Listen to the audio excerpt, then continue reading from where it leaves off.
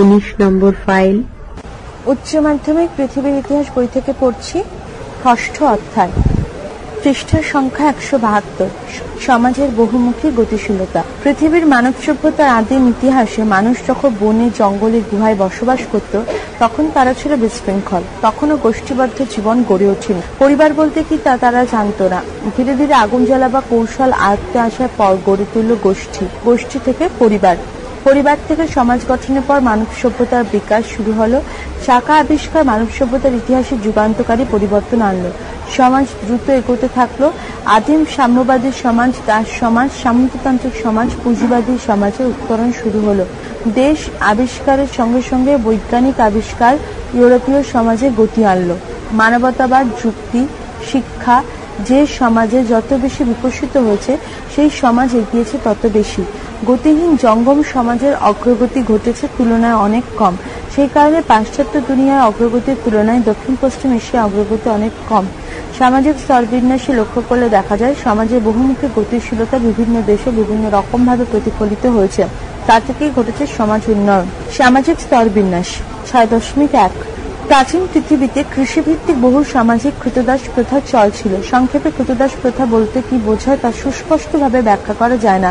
তবে হোমারের যুগে কৃতদাস বা স্লেভ বলতে বোঝাত আন্ধ্রপোডন শব্দকে। ইংরেজিতে যার অর্থ চ্যাটল স্লেভ বা মনুষ্য পদবিশিষ্ট জীব বা ম্যান ফুটেড ক্রিয়েচার অর্থাৎ মানুষ। শব্দটি এসেছিল টেট্রাপোডের শব্দের উপমা হিসেবে। টেট্রাপোডের অর্থ চতুষ্পদী গবাদি প্রাণী। দাসপ্রথা বলতে বোঝানো হতো ক্যাপিটাল স্লেভারি।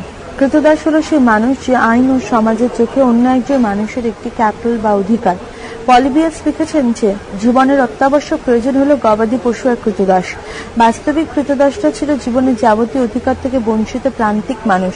অ্যারিস্টটলের ভাষায় জীবন্ত যন্ত্র। বিশিষ্ট ইংরেজ মার্ক্সবাদী জিওফ্রে সা কায়া, প্রাচীন গ্রিসের পরাধীন শ্রম বা আনফ্রি লেবারকে তিনটি শ্রেণীতে ভাগ করেছেন। প্রথমটি দাসপ্রথা, দ্বিতীয়টি ভূমিদাস। তৃতীয়টি ঋণদানজনিত দাসত্ব বন্ধন তার মতে গ্রিক ও রোমান ইতিহাসের সেরা সময়গুলোতে কৃতদাস প্রথাই ছিল সবচেয়ে গুরুত্বপূর্ণ পরাধীন শ্রম। কৃতদাস প্রথা বিশেষজ্ঞরা মনে করেন প্রাচীন গ্রিস ও রোমে দাস প্রথা অভূতপূর্ব মাত্রায় পৌঁছেছিল। দুই সভ্যতায় ছিল দাস নির্ভর, দাস ব্যবস্থা বলতে বোঝা অন্তহীন শোষণ ও তার অত্যাচারের কাহিনী। একদিকে মুষ্টিমেয় ধনবান মানুষের প্রভুত্ব, অন্যদিকে সংখ্যাগরিষ্ঠের পৃষ্ঠের সংখ্যা একশো তিয়াত্তর। অন্যদিকে সংখ্যাগরিষ্ঠের অসহায় বর্ষতা। আঠারোশো আটচল্লিশ খ্রিস্টাব্দে মার্কস ও এঙ্গলসের লেখা কমিউনিস্ট ইস্তাহারে তারা দেখিয়েছেন, পৃথিবীর সমস্ত সমাজের ইতিহাস হল শ্রেণি সংগ্রামের ইতিহাস। ফলে প্রভু, কৃতদাস এলিট ও নিম্নবর্গ, গিল্ড প্রধান ও জার্নি ম্যান, এক কথায় শোষক ও শোষিত পরস্পরের বিরুদ্ধে চিরকালীন সংগ্রামে লিপ্ত। কৃতদাসটা ছিল প্রভুদের একচেটিয়ার সম্পত্তি। প্রাচীন পৃথিবীতে প্রভুরা নিজেদের শ্রেষ্ঠত্ব প্রকাশের জন্য কৃতদাস সন্তান বলে সম্বোধন করত। একজন সন্তান বড় হয়ে উঠত ভবিষ্যতে সুস্থ নাগরিক হয়ে ওঠার জন্য। আর কৃতদাসটা ভবিষ্যতে তাদের সামাজিক অবস্থানে কোনো পরিবর্তন প্রত্যাশা করতে পারত না। অ্যান্টনি অ্যান্ড্রুজ বলেন, গ্রিক সভ্যতার ভিত্তি দাস ব্যবস্থাকে কেউ যদি পাল্টে ওই সভ্যতাকে স্বাধীন শ্রমের উপর নির্ভরশীল করতে চায়, তাহলে উচ্চবর্গের নাগরিকদের অবসরে বিলাপ ঘটিয়ে তাদের কায়িক পরিশ্রমে বাধ্য করতে হবে। স্যার এম আই ফিনলে বিশ্বের প্রকৃত পাঁচটি দাস সমাজের মধ্যে ক্লাসিক্যাল গ্রিসের দাস সমাজকে অন্তর্ভুক্ত করেছেন। এঙ্গেলস বলেন দাস রোম ব্যতীত কোনো গ্রিক নগরাষ্ট্র হতো না। গ্রিক শিল্প বা বিজ্ঞানের বিকাশ ঘটত না এবং রোমান সাম্রাজ্যের উদ্ভবও ঘটত না। অ্যারিস্টটল প্লেটো প্রমুখ সমস্ত গ্রিক মনীষী দাস প্রথাকে সমর্থন করতেন। পরবর্তীকালে একমাত্র স্টোইকরাই প্রথা তীব্র বিরোধিতা করেন। সামাজিক স্তরবিন্যাস প্রসঙ্গত বলা বাহুল্য যে গ্রিসের পোলিসগুলোতে সাধারণত নাগরিক এবং অনাগরিক এই দুই শ্রেণির লোক বাস করত। তবে পুলিশের নাগরিক বলতে প্রাচীন গ্রিস দেশে যা বুঝাত বর্তমানকালে ব্যবহৃত নাগরিক শব্দটির মধ্যে তা পরিপূর্ণ ব্যঞ্জনা সুস্পষ্ট হয় না। সেই সময় গ্রিস দেশে নাগরিক এবং পুলিশের সদস্যপদ সমার্থক ছিল এবং পুলিশের সদস্যপদ ছিল বিশেষ তাৎপর্যপূর্ণ। আর যারা পুলিশের সদস্যপদ থেকে বঞ্চিত ছিল, তারা অনাগরিক রূপে পরিচিত ছিল। তবে প্রসঙ্গত উল্লেখ্য যে, নাগরিক বলতে প্রধানত মেটিক পেরিটায়কয় হিলট এবং কৃতদাস। তবে গ্রিসে মহিলাদের নাগরিক অধিকার ছিল না। সমগ্র গ্রিসে দাসরা শোষিত ও নির্যাতিত হতো, কিন্তু স্পার্টায় এক শ্রেণির দাসদের অবস্থা ছিল সব থেকে করুণ। এদের বলা হতো হেলট, নাগরিক। পলিসে নাগরিক পদ লাভ করার জন্য কয়েকটি বিশেষ শর্ত অবশ্যই পূর্ণ করতে হতো। নাগরিক পরিবারে জন্মগ্রহণ না করলে যে কোনো ব্যক্তির পক্ষে নাগরিকত্ব অর্জন করা অত্যন্ত কঠিন ছিল। অনাগরিকদের নাগরিক অধিকার দানে কোনো নির্দিষ্ট পদ্ধতি ছিল না। দৃষ্টান্তস্বরূপ উল্লেখ করা যায় যে, এথেন্সে বসবাসকারী বিদেশিদের সামাজিক স্বীকৃতি দেওয়া হলেও নাগরিক অধিকার দেওয়া হতো না। একমাত্র ইক্লেসিয়া এই অধিকার দিতে পারত। কিন্তু ক্ষম কিন্তু খুব কম ক্ষেত্রে এই অধিকার প্রদান করা হতো। পিতামাতা যদি এথেন্সে নাগরিক না হতেন, তাহলে সেনাবাহিনীতে যোগ দিলে অথবা রাষ্ট্রের প্রতি অনুগত থাকলে এই অধিকার পাওয়া যেত না। পূর্বে এথেন্সের নাগরিকত্ব লাভ করার সামান্য সহজতর ছিল, কিন্তু পেরিক্লিস নাগরিকত্ব দানের অধিকারকে আরও সংকুচিত করেন। একমাত্র যাদের পিতামাতা এথেন্সের নাগরিক এবং বৈধভাবে বিবাহিত পেরিক্লিস একমাত্র তাদের জন্যই অধিকার সংরক্ষিত করেন। তাছাড়া প্রসঙ্গত বলে রাখা ভালো যে, গ্রিক মহিলাদের নাগরিক অধিকার ছিল না। এর ফলে খ্রিস্টপূর্ব চারশো একত্রিশ শব্দে এথেন্সের জনসংখ্যা ছিল প্রায় তিন লক্ষ, কিন্তু সেখানে প্রাপ্তবয়স্ক নাগরিকদের পৃষ্ঠ সংখ্যা একশো চুয়াত্তর। সেখানে প্রাপ্তবয়স্ক নাগরিকদের সংখ্যা ছিল মাত্র চল্লিশ থেকে পঁয়তাল্লিশ হাজার। আবার এথেন্সে প্রত্যেক নাগরিককে নিজের ব্যয়ে অস্ত্র সংগ্রহ করতে হতো। তাই তাকে আর্থিক দিক থেকেও সম্পন্ন হতে হতো। তবে প্রাচীন গ্রিসের অধিকাংশ পলিসি জন্মসূত্রে নাগরিক অধিকার অর্জন করা যেত মাতাকেও নাগরিক হতে হবে এরূপ দাবিও অনেক রাষ্ট্রে উত্থাপন করা হতো না।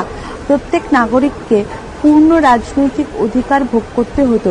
অধিকাংশ পুলিশ যোগ্য নাগরিকগণ সরাসরি জনপ্রতিনিধিমূলক সমিতিতে অংশগ্রহণ করতে পারত। অভিজাততান্ত্রিক পুলিশের নাগরিকদের সংখ্যা খুব কম হলেও এই নিয়মে ব্যতিক্রম ছিল না। তবে গ্রিস দেশের প্রত্যেক পুলিশই নাগরিকদের অপেক্ষা অনাগরিকদের সংখ্যাধিক্য ছিল এবং সেজন্য গ্রিস পুলিশে গণতন্ত্র বলতে সর্বদাই সংখ্যালঘুদের শাসন বোঝাত। অভিজাততান্ত্রিক পুলিশের নাগরিকত্ব অর্জনের সুযোগ আরও কম ছিল। দৃষ্টান্তস্বরূপ স্পার্টার কথা উল্লেখ করা যায়। সম্পত্তি মালিকানা ছাড়াও সাধারণ ভোজনালয়ের জন্য দেয় অর্থ এবং সামরিক শিক্ষা গ্রহণ না করলে স্পার্টার নাগরিকত্ব লাভ করা সম্ভব ছিল না। সেজন্য স্পার্টায় নাগরিকদের সংখ্যা ছিল অবিশ্বাস্য রূপে কম। অভিজাততান্ত্রিক পুলিশ বিত্তশালী নাগরিকদের সংখ্যা ছিল খুব কম।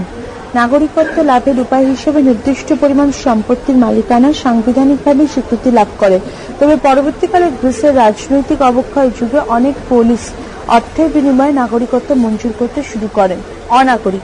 অনাগরিক বলতে সাধারণত বোঝাতো মেটিক পেরিতারকয় হেলট ও কৃতদাসদের আটিকায় বসবাসকারী নথিভুক্ত বিদেশিদের মেটিক বলা হতো।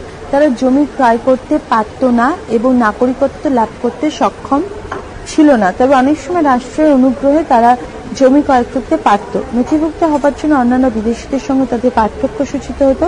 এই পার্থক্য বিশেষ সম্মানজনক ছিল, তবে ব্যক্তিগতভাবে তারা বিচারালয়ে উপস্থিত হতে পারত না। কোনো নাগরিকের মাধ্যমে বিচারালয়ে তাদের বক্তব্য উপস্থাপিত করতে হতো। সামান্য পরিমাণে তাদের বার্ষিক কর দিতে হতো।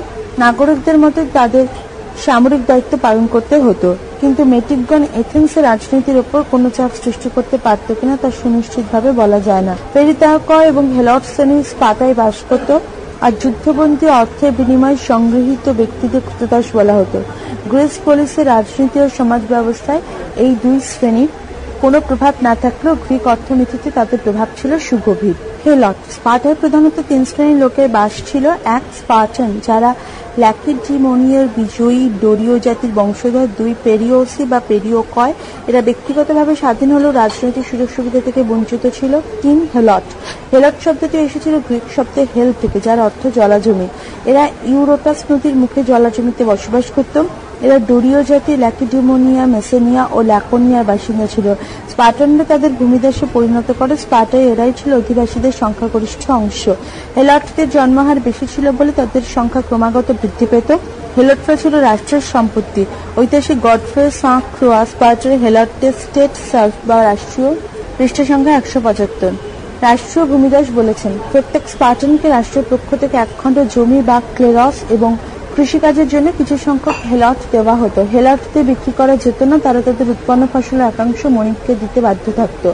হেলটটা থাকার পরে স্পাটনদের পক্ষে সর্বদা শরীরচর্চা এবং সামরিক বিষয়ে মনোযোগ দেওয়া সম্ভব ছিল। যদি হেলটরা সুযোগ পেলে বিদ্রোহ করতে বলে স্পাটনরা সর্বদাই হেলট বিদ্রোহের আতঙ্কে থাকতো। হেলটদের উপর নজর রাখার জন্য তারা গুপ্ত পুলিশ বাহিনী বা কায় পেটিয়ে নিয়োগ করত। হেলারদের বধ করার অধিকার প্রত্যেক স্পাটনকে দেওয়া হয়েছিল। সরকারের প্রতি বছর বহু হেলাতকে হত্যা করত।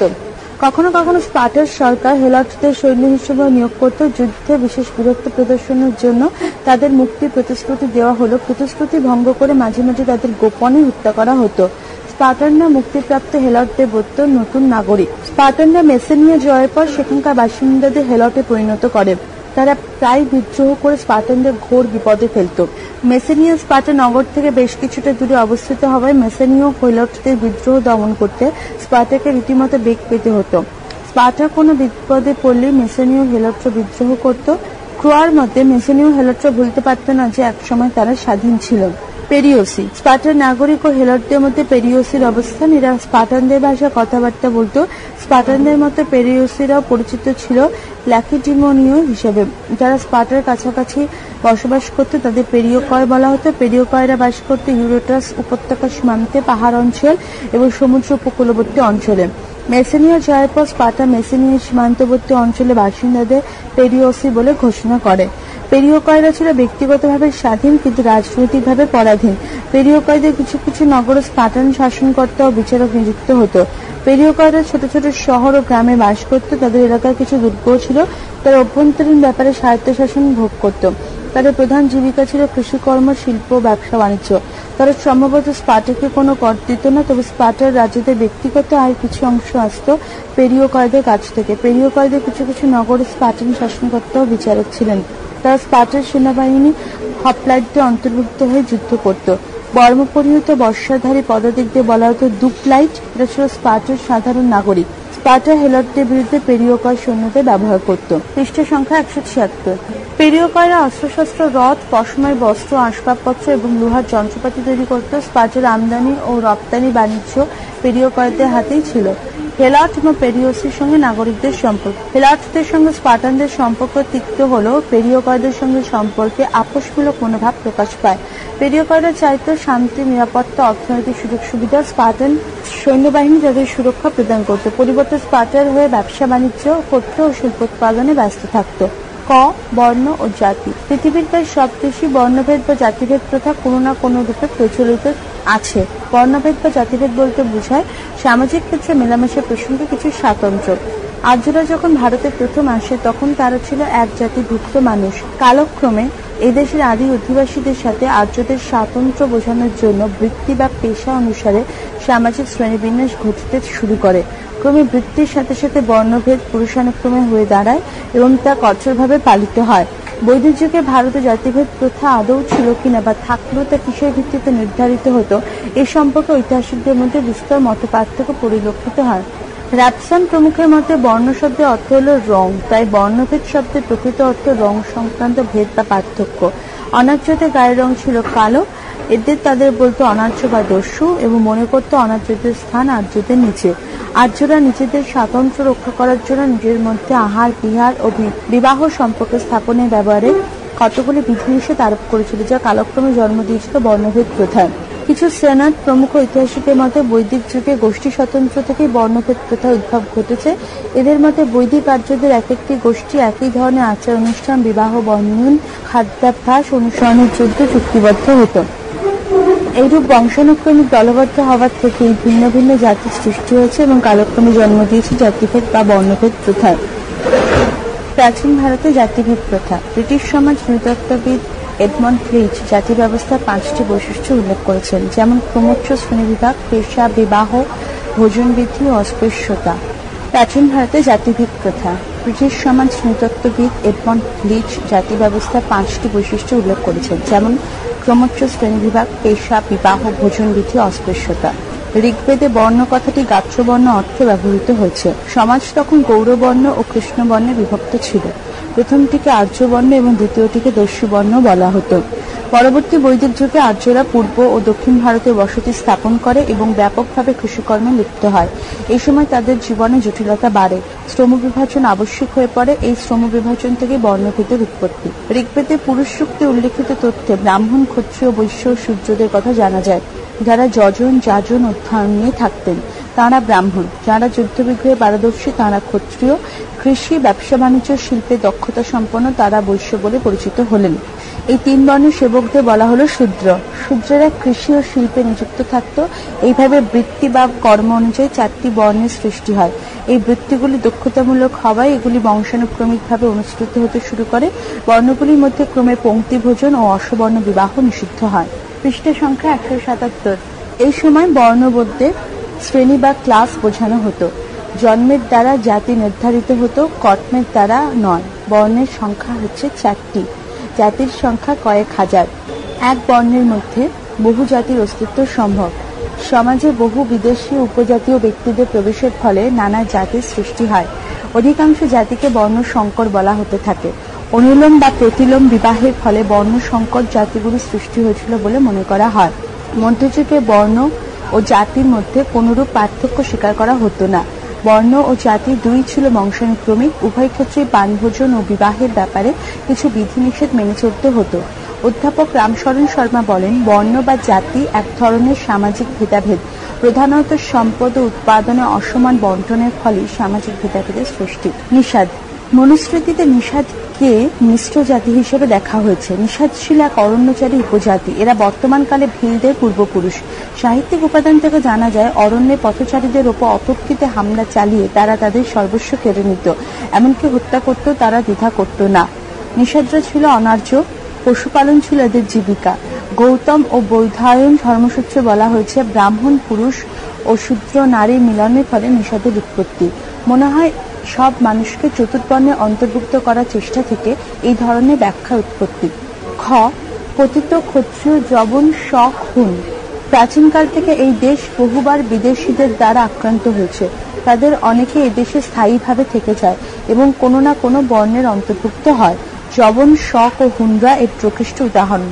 সম্রাট অশোকের মৃত্যুর পর মৌর্য সাম্রাজ্যের অবক্ষয় যুগে ভারতের অভ্যন্তরে যেমন একাধিক ক্ষুদ্র ক্ষুদ্র স্বাধীন রাজ্যের উত্থান ঘটেছিল তেমনি ওই সময়ে ইন্দো, গ্রিক, শক, পল্লব, কুষাণ প্রভৃতি একাধিক বৈদেশিক জাতি ভারত আক্রমণ করে বিভিন্ন অঞ্চলে অধিকার প্রতিষ্ঠা করেছিল। ইন্দো গ্রিক ব্যাকট্রিয়া আলেকজান্ডারের মৃত্যুর পর তার বিশাল সাম্রাজ্য তার সেনাপতিরা ভাগাভাগি করে নিয়েছিলেন। পশ্চিম এশিয়ার অন্তর্গত ব্যাকট্রিয়া এবং পার্থিয়া ছিল সেলুকাসের সাম্রাজ্যের অন্তর্গত দুটি প্রদেশ। খ্রিস্টপূর্ব তৃতীয় শতকে ব্যাকট্রিয়ার গ্রিক শাসনকর্তা ডায়োডোটাস এবং পার্থিয়ার আর্সাকে সেলুকাসের অধীনতা স্বীকার করে স্বাধীন শাসন শুরু করেন। এই বংশের তৃতীয় রাজা ইউথিডেমাসের রাজত্বকালে সিরিয়ার অধিপতি তৃতীয় অ্যান্টিওকাস ব্যাকট্রিয়া আক্রমণ করেন। দুশো চার খ্রিস্টপূর্ব কিন্তু উভয়ের মধ্যে সন্ধি স্থাপিত হয় এবং অ্যান্টিওকাস নিজ কন্যার সাথে ইউথিডেমাসের পুত্র ডেমিট্রিয়াসের বিবাহ দেন। অতঃপর আনুমানিক কুড়ি খ্রিস্টপূর্বাব্দে তৃতীয় অ্যান্টিওকাস ভারত অভিযানে বের হন এবং কাবুল উপত্যকা পর্যন্ত অগ্রসর হন। এখানে গান্ধারের রাজা সুভগ সেনকে পরাজিত করে বহু হাতি উপহার স্বরূপ লাভ করেন। কিন্তু সিরিয়ার ওপর রোম আক্রমণের সম্ভাবনা দেখা দিলে তিনি দ্রুত ভারত ত্যাগ করে স্বদেশে প্রত্যাবর্তন করেন। ইউথিডেমাসের পুত্র ডেমিট্রিয়াসের রাজত্বকালে পুনরায় গ্রিক আক্রমণের সম্ভাবনা ঘটে। স্বদেশের শক জাতি পুনঃ আক্রমণ এবং ভারতে মৌর্য পরবর্তী যুগের বিচ্ছিন্নতা তাকে ভারতীয় আক্রমণে উৎসাহিত করে। ডেমেট্রিয়াস দ্বিতীয় খ্রিস্টপূর্বাব্দে হিন্দুকুশ পর্বত অতিক্রম করে ভারতে প্রবেশ করেন। তিনি সিন্ধু উপত্যকা পাঞ্জাবের বিরাট অংশ দখল করেন এবং সাকল শিয়ালকোটে তাঁর রাজধানী স্থাপন পৃষ্ঠ সংখ্যা একশো আটাত্তর। তার তাঁর রাজধানী স্থাপন করেন, তিনি এদেশে প্রথম দ্বিভাষিক গ্রিক ও ভারতীয় মুদ্রা চালু করেন। তাঁর রাজ্যসীমা কতদূর বিস্তৃত ছিল, তা সঠিক জানা যায়নি। ডেমিট্রিয়াসের ভারত অভিযানে প্রায় সমকালী ইউক্রেটাইডিস নামক জনৈক সেনাপতি ব্যাকট্রিয়ার সিংহাসন দখল করে নেন এবং ভারতে অভিযান প্রেরণ করেন। প্রায় একই সময় ভারতে দুটি অঞ্চল গ্রিক শাসনাধীন ছিল। যাই হোক পরবর্তীকালে উভয় পুত্রদের মধ্যে ব্যাকট্রিয়া ও ভারত অঞ্চল বিভক্ত হয়ে যায়। ভারতে ইন্দো গ্রিক রাজাদের মধ্যে সর্বাধিক উল্লেখযোগ্য ছিলেন মিনান্দার। ভারতে তিনি ইন্দো গ্রিক শাসনকে প্রচণ্ড ক্ষমতাশালী করে তোলেন। স্ট্রাবোর মতে, আলেকজান্ডারের থেকে অনেক বেশি রাজ্য মিনান্দার জয় করেছিলেন। আফগানিস্তান থেকে কাথিয়াবার পর্যন্ত তার রাজ্য বিস্তৃত ছিল সাকল ছিল তার রাজধানী। মিলিন্দ পণ্য বা মিলিন্দের প্রশ্ন গ্রন্থে মিলিন্দ এবং মিনান্দার অভিন্ন বলে অনুমান করা হয়। এই গ্রন্থ থেকে তার বৌদ্ধ ধর্মের প্রতি অনুরাগের কথা জানা যায়। অবশ্য দিব্যবদন গ্রন্থ মিনান্দারে বৌদ্ধ ধর্মানুরাগের কথা সমর্থিত হয়েছে। মিনান্দার নাকি শেষ বয়সে সিংহাসন ত্যাগ করে বৌদ্ধ সন্ন্যাসী হয়েছিলেন। ঐতিহাসিক রাতসেনের ভাষায় মিনান্দার ছিলেন বহু গুণের অধিকারী। কেবল সুযোদ্ধা ও সুশাসক নয় দার্শনিক হিসেবে তিনি ছিলেন খ্যাতির অধিকারী। প্রসঙ্গত উল্লেখ্য যে উত্তর পশ্চিম ভারতে ইন্দো গ্রিকগণ প্রায় দুইশত বৎসর রাজত্ব করেন। কিন্তু ইউথিডেমাস ও ইউক্রেটাইডিস পরিবারের অভ্যন্তরীণ দ্বন্দ্বে ইন্দো গ্রিকগণ দুর্বল হয়ে পড়ে। এই অবস্থায় শক পল্লব, ইউচি প্রভৃতি জাতির আক্রমণে ইন্দো গ্রিক শাসনের অবসান ঘটে। গ্রিক রাজাদের বিলুপ্তির পরও বহু গ্রিক এদেশে রয়ে যায়। তারাও কালক্রমে ভারতীয়দের সঙ্গে মিশে গিয়েছিল। ভারতে এই গ্রিকদের বলা হতো জবন। জবন কথাটির উৎপত্তি গ্রিক আয়ন বা আয়নীয় শব্দ থেকে। পারস্যে এটি ইয়ন শব্দে রূপান্তরিত হয়। তাই প্রসঙ্গত বলতে দ্বিধা নেই যে ইয়ন কথাটি থেকে জবন কথাটির উৎপত্তি। শক। শক জাতির আদি বাসস্থান ছিল মধ্য এশিয়ার সিরদরিয়া নদীর উত্তরাঞ্চলে। খ্রিস্টপূর্ব দ্বিতীয় শতকে ইউচি নামক আরেক জাতির আক্রমণে শকগণ বাসভূমি ত্যাগ করে হিন্দুকুশ পর্বত অতিক্রম করে এবং ভারতের উত্তর পশ্চিম সীমান্তে বসবাস শুরু করে। এরপরে শকগণ আফগানিস্তানের দক্ষিণাঞ্চলে বসতি স্থাপন করেন। অবশেষে ইন্দো গ্রিক শাসনের দুর্বলতার সুযোগে এরা ভারতে প্রবেশ করে স্বাধীন রাজ্যের প্রতিষ্ঠা করেন। শকরা যখন ক্ষত্রপ নামেও পরিচিত ছিলেন শক রাজ্যদের প্রধানত দুটি শাখায় বিভক্ত করা যায় যথা উত্তর ক্ষত্রপ এবং পশ্চিম ও দক্ষিণ ক্ষত্রপ ভারতের প্রথম উল্লেখযোগ্য শক রাজা ছিলেন ইয়াস বা যোগ। গান্ধার তক্ষশিলা পুষ্কলাবতী ছিল তাঁর রাজ্যের অন্তর্ভুক্ত। এরপর রাজা হন প্রথম অজেস। তিনি পূর্ব পাঞ্জাবে শক শাসন বিস্তৃত করেন। পরবর্তী রাজা দ্বিতীয় অজেসের রাজত্বকালে পার্থী আক্রমণের শক শাসন ভেঙে পড়ে রমিলা থাপারের মতে কুষাণদের আক্রমণে শক জাতির পতন ঘটে। যাই হোক, উত্তর ভারতে শক শক্তি ধ্বংস হলেও শক ক্ষত্র রাজাগণ পশ্চিম ও দক্ষিণ ভারতে দীর্ঘকাল রাজত্ব করেন। খ্রিস্ট সংখ্যা একশো উনআশি। শক জাতির অপর একটি শাখা দক্ষিণ ও পশ্চিম ভারতে রাজত্ব করত। এই শাখা আবার খহরত ও কর্দমক এই দুই শাখায় বিভক্ত ছিল। পশ্চিম ভারতে খহরত শব্দের মধ্যে ভূমকের নাম প্রথম পাওয়া যায়। ব্রাহ্মী ও খরষ্টি লিপিতে আঁকা তার অনেক মুদ্রা পাওয়া গেছে। খহরত শাখার সর্বশ্রেষ্ঠ ক্ষত্রক ছিলেন নহপান নাসিক লিপি থেকে জানা যায়, তিনি সাতবাহনদের কাছ থেকে মহারাষ্ট্রের বিরাট অংশ দখল করে নেয়। তাঁর জামাতা ও সেনাপতি ঋষভ দত্তের শিলালিপি থেকে জানা যায় নহপানের রাজ্যসীমা রাজপুতানা থেকে কাথিয়াবার হয়ে মহারাষ্ট্র পর্যন্ত বিস্তৃত ছিল। সাতবাহন রাজ গৌতমীপুত্র সাতকর্ণী নহপানকে যুদ্ধে পরাস্ত নিহত করেন। নহপান ছিলেন হিন্দু ধর্মের পৃষ্ঠপোষক। তিনি বহু তীর্থে ভ্রমণ করেন ও দান ধ্যান করেন। Periplus of the Erythraean Sea গ্রন্থ থেকে জানা যায় নহপানে আমলে ভিভুকচ্ছ বা ব্রোজ বন্দর পশ্চিম এশিয়া ইউরোপের সাথে ভারতের বাণিজ্যের প্রধান কেন্দ্র ছিল। ক্ষত্রদের কর্দমক শাখা উজ্জয়িনীতে রাজত্ব করতেন। চষ্টন ছিলেন এই শাখার প্রতিষ্ঠাতা। কচ্ছে প্রাপ্ত একটি লিপি থেকে জানা যায়, চষ্টন ও তাঁর পৌত্র রুদ্রদামন যুগ্মভাবে রাজত্ব করতেন। তিনি আনুমানিক একশো তিরিশ খ্রিস্টাব্দে সিংহাসনে আসীন ছিলেন। এই শাখার শ্রেষ্ঠ রাজা ছিলেন রুদ্রদামন। জুনাগড় লিপি থেকে রুদ্রদামনের রাজত্বকাল সম্বন্ধে জানা যায়, তিনি সাতবাহনদের দুবার পরাজিত করেছিলেন এবং মালব সৌরাষ্ট্র কোঙ্কন প্রভৃতি স্থান দখল করেছিলেন। তিনি সম্ভবত একশো পঞ্চাশ খ্রিস্টাব্দের পরও রাজত্ব করেছিলেন। সুযোদ্ধা ছাড়াও সুশাসক, বিদ্যুৎসাহী ও সংস্কৃতবান প্রভৃতি একাধিক গুণের অধিকারী ছিলেন রুদ্রদামন। বহু অর্থ ব্যয়ে তিনি সুদর্শন হ্রদের সংস্কার করে চাষের সুবিধা করে দিয়েছিলেন। তিনি ছিলেন ধর্মভীর ও প্রজাহিতৈষী শাসক। যুদ্ধে প্রয়োজন ছাড়া রক্তপাতের তিনি ঘোরতর বিরোধী ছিলেন। রুদ্রদামনের পরবর্তী ক্ষত্রকদের দুর্বলতার ফলে শক শাসন গুরুত্ব হারাতে থাকে। উত্তরাধিকার সংক্রান্ত দ্বন্দ্ব, অভ্যন্তরীণ বিদ্রোহ ও আভিদ এবং সাতবাহনদের ক্রমাগত আক্রমণে শক সাম্রাজ্য সংকুচিত ও দুর্বল হয়ে পড়ে। অবশেষে দ্বিতীয় চন্দ্রগুপ্তের আমলে শক শাসনের অবসান ঘটে। হুন ইয়ং বা হুনগণ ছিল মধ্য এশিয়ার এক দুর্ধর্ষ বর্বর জাতি। আনুবারিক খ্রিস্টপূর্ব দ্বিতীয় শতকে হুন্ডা চীন দেশের উত্তর পশ্চিমাঞ্চল থেকে অপর এক যাযাবর জাতি ইউচিতে বিতাড়িত করে ওই স্থান দখল করে। এর কিছুদিন পর তৃণভূমির সন্ধানে হুন্ডা আবার পশ্চিম দিকে অগ্রসর হতে থাকে।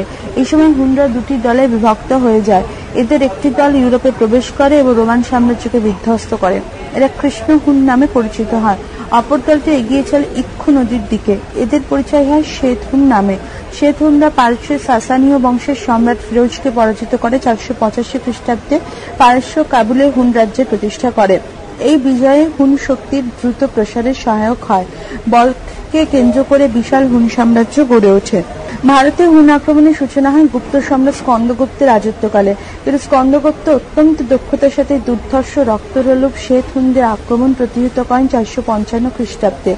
ডক্টর আর সি মুখার্জির কৃতিত্বের জন্য স্কন্দগুপ্তকে দিগ্বিজয়ী বীর বলে অভিহিত করেছেন। ঐতিহাসিক কে পি জয়সওয়ালের মতে এই অনন্য সাধারণ কৃতিত্বের জন্য স্কন্দগুপ্তকে শ্রেষ্ঠ গুপ্ত সম্রাট বললেও অত্যুক্তি হবে না। যাই হোক, প্রাথমিক পরাজয়ের পর হুনরা কিছুকাল ভারত আক্রমণ থেকে বিরত থাকে। পৃষ্ঠ সংখ্যা একশো আশি। ষষ্ঠ শতকে প্রথম ভাগে হুনরা পুনরায় ভারত আক্রমণ করেন। এই সময় হুনদের নেতা ছিলেন তোরমান। পাঞ্জাবের পশ্চিমাংশে বিস্তীর্ণ অঞ্চল হুনদের অধিকারভুক্ত হয়। এরান লিপি থেকে জানা যায় যে ভানুগুপ্তের সেনাপতি গোপরাজ হুন আক্রমণ প্রতিহত করতে গিয়ে ব্যর্থ ও নিহত হয়েছিলেন। কুবলয় নামা নামক জৈন গ্রন্থ থেকে জানা যায় যে, পাঁচশো দশ খ্রিস্টাব্দে ভানুগুপ্তের কাছে তোরমান পরাজিত হয়েছিলেন। তোরমানের মৃত্যু পাঁচশো পনেরো খ্রিস্টাব্দের পর। তার পুত্র মিহিরকুল হুনদের নেতা হন। তার রাজধানী ছিল সকল বা শিয়ালকোট। পিতার পদাঙ্ক অনুসরণ করেও তিনি ভারতের বিরুদ্ধে যুদ্ধাভিযান চালান। হিউয়েনসাংয়ের বিবরণ কলহনের রাজতরঙ্গিনী প্রভৃতি গ্রন্থ থেকে জানা যায় যে মিহিরপুল ছিলেন অত্যাচারী ও নৃশংস প্রকৃতির মানুষ। নিরীহ মানুষের উপর অত্যাচার চালিয়ে তিনি পৈশাচিক আনন্দ পেতেন। রোমান সাম্রাজ্য আক্রমণ করে এটিলা যে নৃশংসতা পরিচয় দিয়েছিলেন। মিহিরপুরের অত্যাচারও তার থেকে কম ছিল না। এই কারণে কে কেউ তাকে ভারতের অ্যাটিলা বলে অভিহিত করেছেন। কাশ্মীর গান্ধার সিংহল ও দাক্ষিণাত্যে কিছু কিছু অংশ মিহিরপুলে রাজ্যভুক্ত হয়েছিল। মিহিরকুলের অত্যাচার ও নিপীড়ন থেকে ভারতবর্ষকে রক্ষা করেন গুপ্তরাজ বালাদিত্য এবং মান্দাসরে পশ্চিমী মালক অধিপতি যশবর্মন। যশবর্মন সম্ভবত গুপ্তদের সামন্ত রাজা ছিলেন। গুপ্ত সম্রাটের দুর্বলতার সুযোগে তিনি স্বাধীন রাজ্যে পত্তন করেন। যাই হোক বালাদিত্য এবং যশবর্মন একই সাথে মিহিরকুলের বিরুদ্ধে লড়াই করেছিলেন। নাকি স্বতন্ত্রভাবে হুন নেতাকে পরাজিত করেছিলেন সে বিষয়ে মতভেদ আছে। মোটামুটিভাবে মনে করা হয় যে পাঁচশো তেত্রিশ খ্রিস্টাব্দ নাগাদ মিহিরকুল পরাজিত ও বিতাড়িত হয়েছিলেন। মিহিরকুলের মৃত্যুর পাঁচশো বিয়াল্লিশ খ্রিস্টাব্দের পর যোগ্য নেতার অভাবে হুনদের রাজনৈতিক প্রতিপত্তি দ্রুত হ্রাস পেতে থাকে। তবে জনৈক খ্রিস্টান সন্ন্যাসী ইন্ডিকা প্লেউস্টেস হুন রাজা গল্লাস ও মিহিরকুলকে অভিন্ন ব্যক্তি বলে বর্ণনা করে মত প্রকাশ করেছেন যে তিনি পাঁচশো সাতচল্লিশ খ্রিস্টাব্দ পর্যন্ত ভারতের একাংশে রাজত্ব করেছিলেন।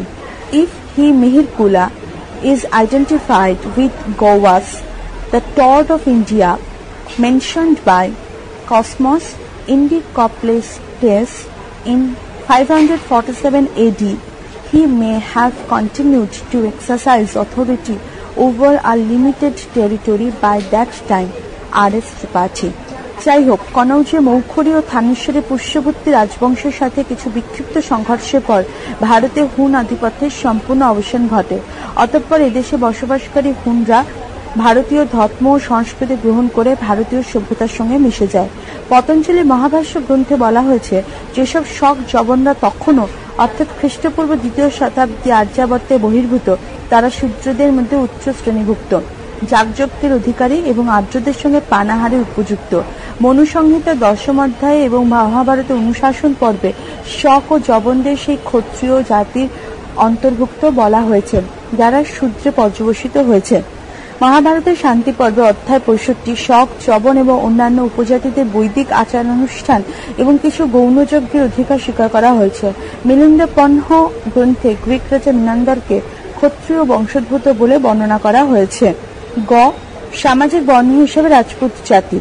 খ্রিস্টীয় অষ্টম, নবম শতক থেকে দ্বাদশ শতক পর্যন্ত উত্তর ভারতের বিশাল অংশে রাজপুতদের প্রাধান্য স্থাপিত হয়। প্রধানত রাজস্থানে তাদের বাস ছিল, রাজপুতদের একাংশ ছিল কৃষিজীবী এবং বাকিরা শাসককুলের সঙ্গে সম্পর্কিত। কথিত আছে, রাজপুতদের ছত্রিশটি গোষ্ঠী ছিল, এগুলির মধ্যে উল্লেখযোগ্য চৌহান বাঘেল, সোলাঙ্কি, গুহিল, রাঠোর, পরমার, হুন প্রভৃতি। পরবর্তী অংশ পরবর্তী ফাইলে